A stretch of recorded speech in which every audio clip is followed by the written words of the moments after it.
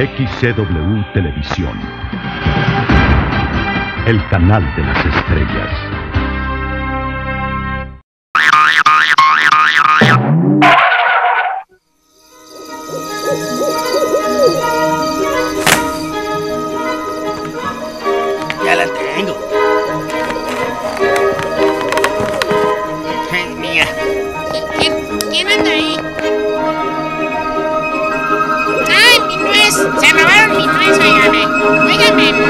No!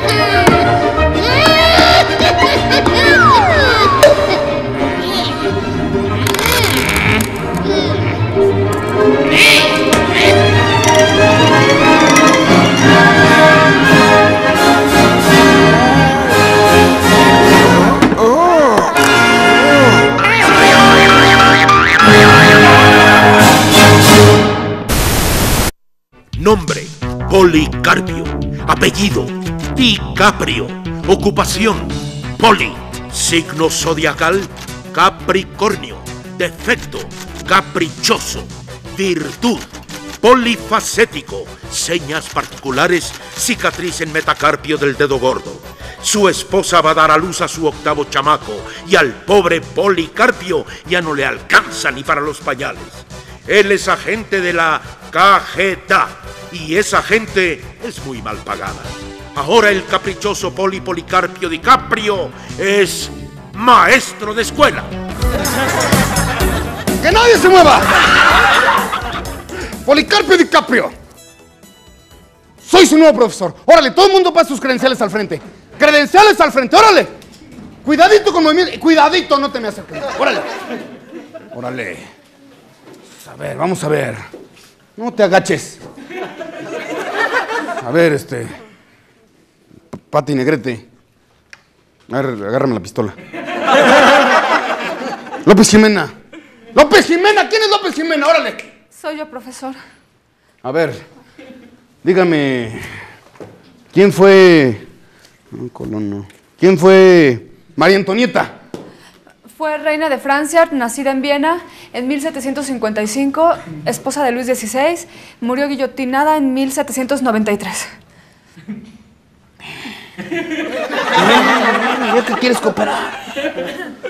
¿Quién la mató?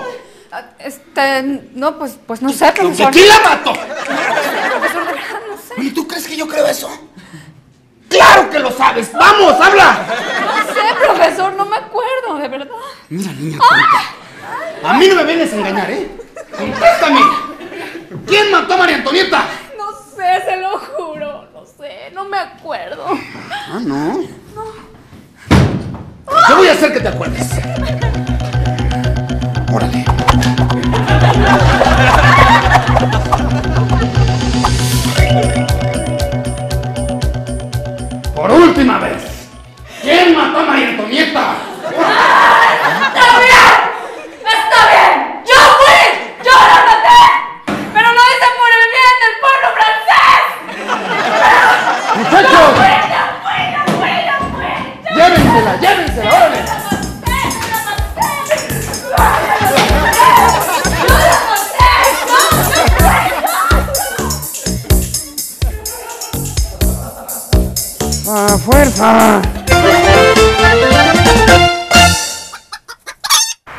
Derecha. Rodilla izquierda. De muertito. Rodilla derecha. Rodilla izquierda. De muertito. Rodilla derecha. ¿El árbitro no te cree que fue foul? No te preocupes. Ven a la Academia Futbolera de Arte Dramático Maradona y aprende a representar un foul sin que te toquen siquiera. A la cara. De tarjeta. Lo enfrenta, se va. Falta. ¡Qué bárbaro, bueno, qué bárbaro! ¡Qué actuación, manito! ¡Ven! ¡Ven acá! ¡Fuera! ¡Fuera! ¡Toma! ¡Toma! ¡Qué bárbaro, mano! Mira, me conmoviste, manito, qué bárbaro. De nuestra academia han egresado grandes actores como el noruego André Flo, Penal. Penal. el árabe Al Tunian El árbitro está marcando penalti. y nuestra estrella mexicana Cuauhtémoc Blanco, que próximamente estelarizará la telenovela Un faul en el camino. Academia Futbolera de Arte Dramático Maradona, para que le eches una manita al marcador.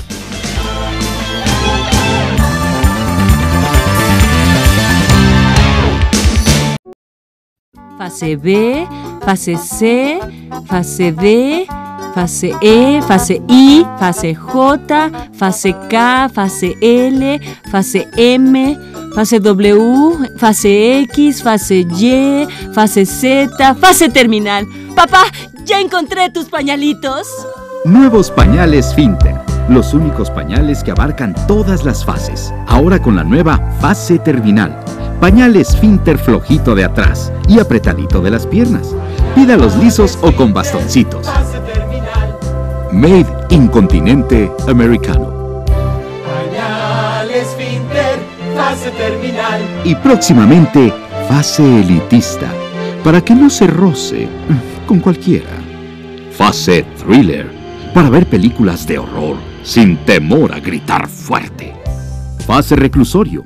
Evita que usted ande suelto por las calles. Fase Don Quijote. Si usted es Sancho, de panza, evita que se convierta en el hombre de la mancha. Y fase Cenicienta, para aquellos que cenan mucho, evita que después de las 12 de la noche todo se convierta en calabaza.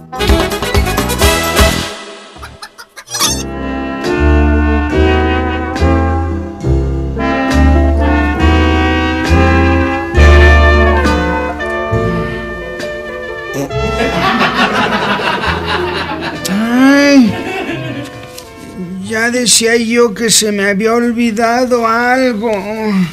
No llevé mis trabajos a la escuela. Jaime, pero si tú hace muchos años dejaste la escuela. ¿La dejé? ¿Y dónde la dejé? No sé. Yo creo que fue cuando entraste a la marina. ¿Yo fui marino? Pues creo que sí. Porque constantemente te hacías a la mar. ¿Me hacía la mar? Porque tomaba mucha agua antes de irme a la cama. Pero ese problemita mm, cada día aminora. ¿A tu Nora? ¿Tienes una Nora? Nora, no. Mañana. Ahora tengo que prepararme porque voy a ir a ver a mi hermano el trapecista el sábado. ¿Vas a ver a tu hermano trapecista el sábado? Sí, el sábado. ¿En qué cae? Pues en una red de protección que le ponen de función en función. Ay, las de funciones en funciones nunca me han gustado. ¿Por qué has? Porque una vez me puse muy triste en un sepelio. ¿Se peleó? Pues, ¿Quién se peleó? De la olla contra Chávez. ¿Qué Chávez? Nada, ¿y tú? Pues mm, que Chávez fue muy bueno. Tú borracha de suerte. Yo borracha de suerte, tu abuela. Pero fíjate, un día te voy a dejar por otro. Ojalá que se fije en mi Carlos. ¿En mi Carlos? Es una buena idea para que no se maltraten mis trabajos de la escuela. Así podré tenerlos bien estudiados. ¿Bien qué? Estudiados. No, no es mi día dos. Hace mucho que ya no tengo días. ¿Qué días? Pues sí que día, pero no se pudo. Así que llegaré sin miedo. Estoy tomando pastillas anticonceptivas. Tú solo piensas en eso. Bueno, ¿algún día se me hará? ¿Qué dijiste? Solo lo pensaba. Algún día se me hará. Pues sí, ya me mojé todo. ¿Y qué? Jaime, a ti ya se te ve el avión. ¡Ay, ay! ¡El avión! ¡El avión!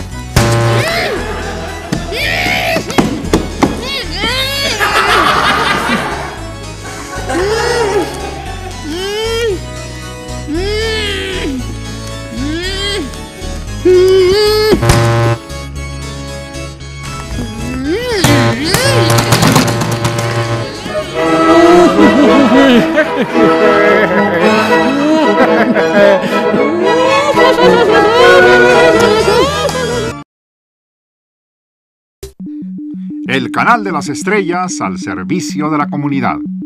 Se solicita su colaboración para localizar Abdak Shakia Hupak Daraj, quien desapareció el pasado 5 de octubre de 1955. Esa mañana salió de su casa ubicada en la calle de Abdullah Makhtariaj, esquina con Makhtariaj Abdullah, en el pueblo de Arak Yandag Mullah, provincia de Afganistán. Abdak Shakiak Vestía una túnica blanca con vivos anaranjados, turbante y zapatillas con largas puntas, que es el atuendo que, por cierto, usan todos los habitantes del pueblo de Arak Yandag Mullah. Como señas particulares, Abdak Shakiah Upak Daraj tiene lagunas en unos terrenos que compró en Bullah Taraj, otra provincia de Afganistán. Y como la mayoría de los habitantes de Arak Yandag Mullah, el joven Abdak Shakiah no habla español. Cualquier información, favor de llamar directamente a su madre. Nos referimos a la madre de Abdak Shakiah, la señora Salmah Rebaj Doraj de Upaj Daraj, a quien vemos en pantalla con la foto de su hijo. Abdak Shakiah Upaj Daraj es el de la foto. Como dato adicional, Abdak Shakiah es mejor conocido como Rupaj, Badiak Rayaj Balaj, Kanyaj, Sirhak, Malak, Sulaj y Hak, apodo con el que lo conocen sus amigos. Cualquier información se le agradecerá a todo el pueblo de Arak, Yandag, Mulaj. Qué nombres tan raros con un caraj. ¡Qué horrible, qué horrible tarántula! Como la de mi abuelita. ¡Qué fea era la tarántula de mi abuelita! Nadie sabe. Nadie supo la verdadera y escalofriante historia de la viuda de la casona. Fue horrible. Fue horrible. Pobre mujer. Pobre. La viuda de la casona vivía atormentada por el pasado. Sí, por el gandalla de su esposo que siempre andaba bien pasado. Pobrecita. Murió antes que él. Sí, murió antes que él, pero le decían la viuda, pues porque estaba bien la viuda. Sí, sí, de hecho se acababa dos lápices labiales al día. ¿Cómo sufría? Fue horrible, fue horrible. Sufría y sufría y sufría.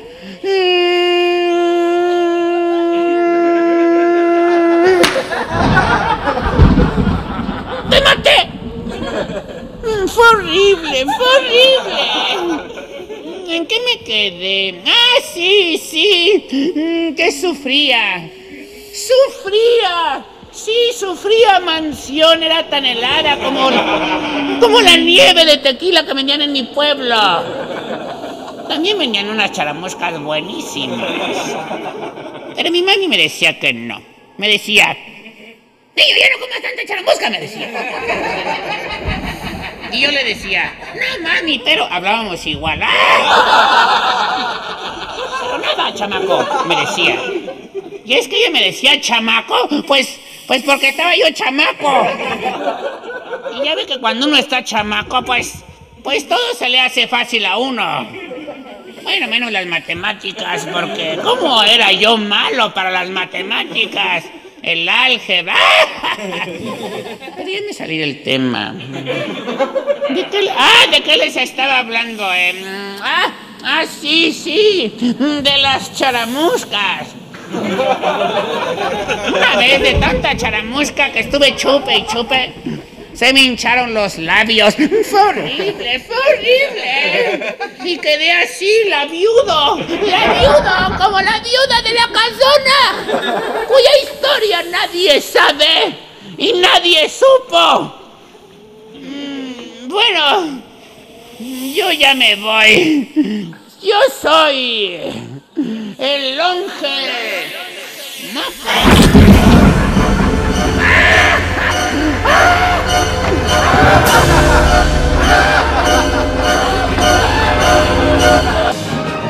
¿Cómo está la sopa?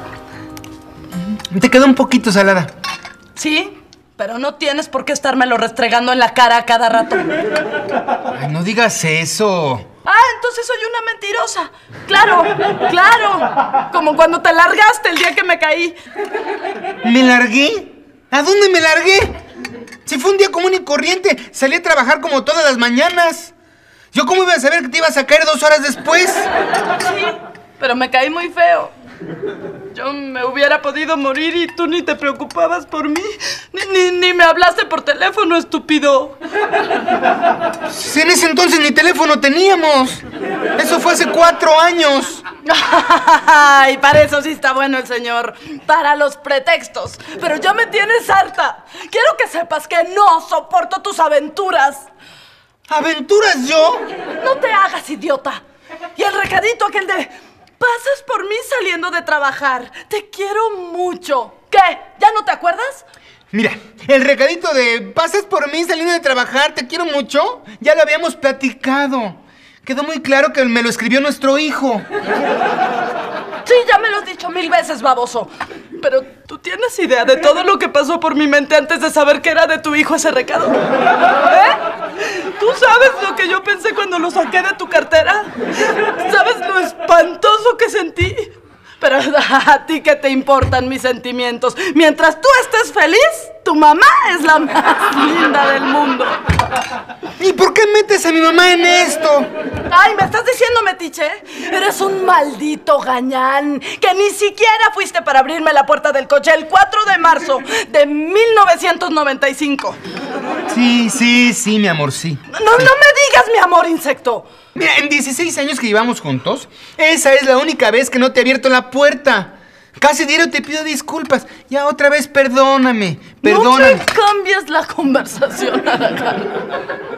Si en esta casa yo no hago las cosas, nadie se atreve a levantar un dedo. Ah, no, espérame, espérame. Tienes cocinera, ama de llaves, recamarera. ¿Qué? ¿Y para ti eso es todo, pedazo de soquete? ¿Qué más quieres? No me digas ambiciosa porque te vas a arrepentir. Con las uñas me defiendo, Aragán. ¿Aragán?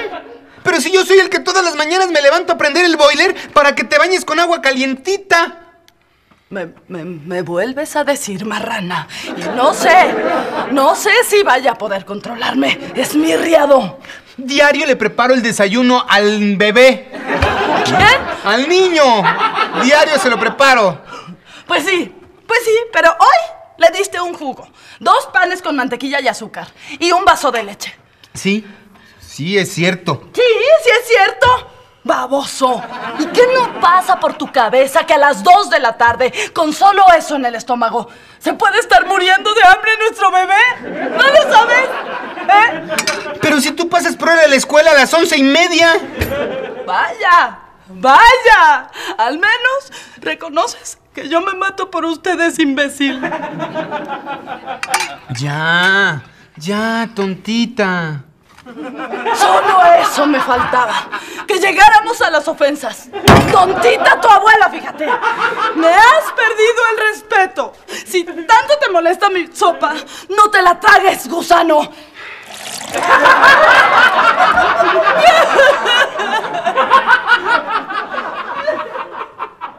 ¿Estás saladito? Pues sí, ni modo que estuviera enfrentito.